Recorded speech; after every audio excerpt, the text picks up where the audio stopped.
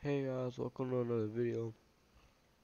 Um, yes, I am sick. That's why my voice might sound more quiet and stiff. But in this video, I'm just gonna show you or explain to you what the four, like for i loops, are for. And if you hear a lot of sniffling, that's cause my nose is being annoying. So let's start with this. So let's make a script real quick. Just going to make a local script, I guess. We'll put this instead of starter GUI. Actually, I'm just gonna make a service script inside of ServerScriptService. So pretty much a for loop is a loop that'll loop as many times as there are objects in the location you want it to loop in, if that makes any sense. I'm not completely sure in what way to um say that, but so once you got your script, after that, I'm just gonna do game not player not player added connect function player because I just want to get when a player joins the actual game.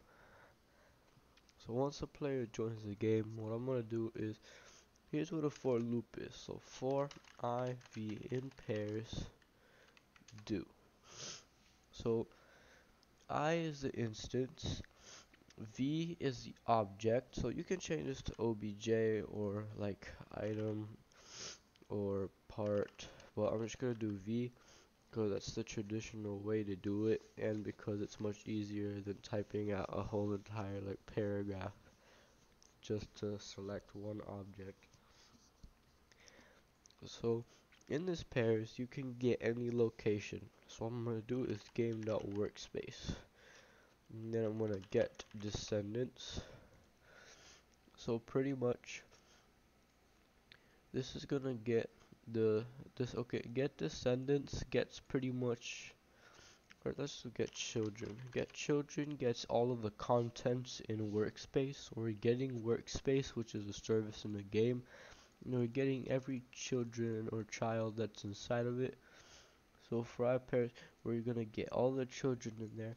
So V will be assigned to the children inside of here. So I'm just gonna do print v dot name. So pretty much this is gonna loop for as many children that are in a workspace. So there's a base plate and spawn location that are gonna be the objects. Let's say I insert more objects, bacon, ham, um, cheese, I guess. So in this for i pairs loop, it's going to loop as many times as there are objects. So there's one, two, three, four, five objects, and it's gonna print the object's name. So of course you could change this to obj if you'd like.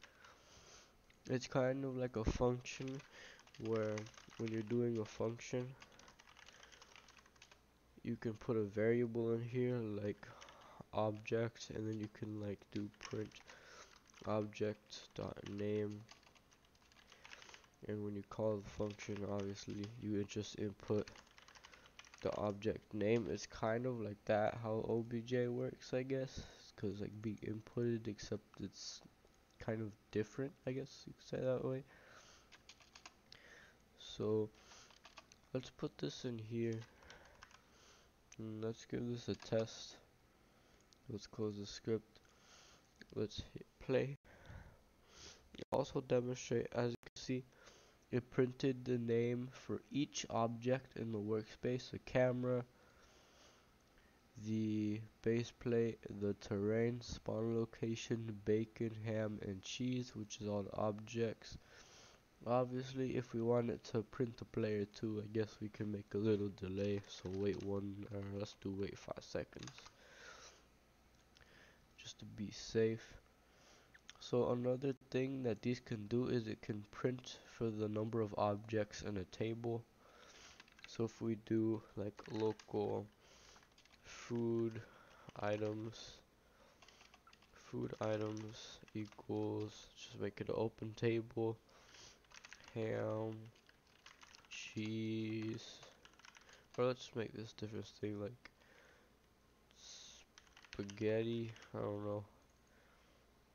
I'm just gonna do like a carpet, a floor, false, nil, 15,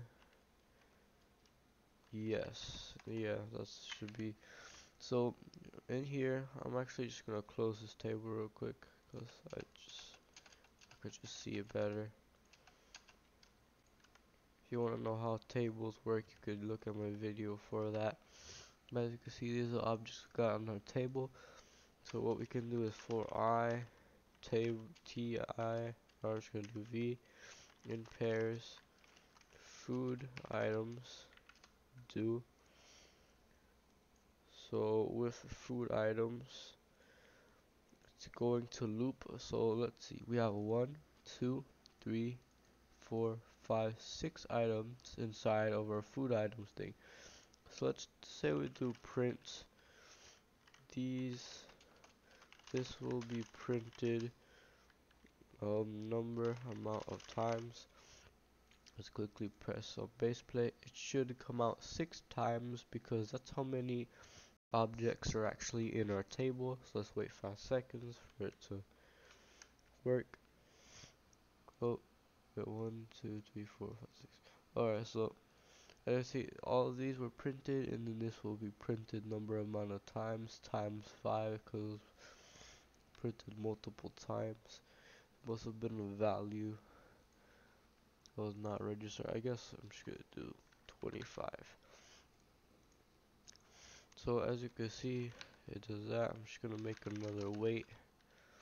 So it waits one second after the first one. Just for safety once again. So let me do one more. Now we can just I'm just going to print an air mark so I can separate these text. Now I can do for i table item in pairs food items do print table item so this is just gonna print the table item. I'm pretty sure you might have to add extra or actually probably not, but as you can see, so this this is going to be a string string string bool value or no bool and then number so we're gonna be printing these values in their format. Uh, this is a bool. These are string values so they're just to be straight text. These are numbers. It should print simply the same as anything else. So we got our table here. I'm just gonna make another delay real quick. So we have to wait three seconds to get a result let's quickly load this up and let's give this a little look. Oh well that one pretty quickly. But as you can see so we got this will be printed number of amount of times and then six. And if we go into our script we said spaghetti. There's spaghetti carpet we got carpet floor we got floor false 25 and 15 so you get what I mean there. So a table is pretty much a loop that'll loop through every object inside of a specific location. It'll loop as many times as there are objects. And just a little thing get descendants. This is like get children except it gets the objects inside of the objects. So instead of base plate it'll also print out texture and in spawn location it'll also print out decal because the decal is a descendant it's like ancestry. As you can see it printed out quite a bit uh, wow a lot more objects because there's a lot of objects in my character. That's just what the um, get descendants is. So if you just want to print everything in workspace and such that's how you can do it. So yeah hopefully this video helped you and hopefully you enjoyed. If I don't upload that often that's because I'm still getting better. So yeah hopefully it helped and yeah bye